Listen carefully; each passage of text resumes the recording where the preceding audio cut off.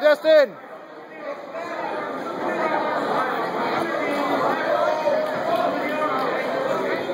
Sit back, watch the ball. Squeeze. Squeeze, squeeze, squeeze. All right.